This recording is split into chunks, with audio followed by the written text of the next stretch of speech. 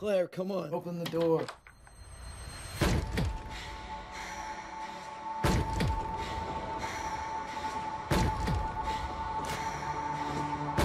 Impress me.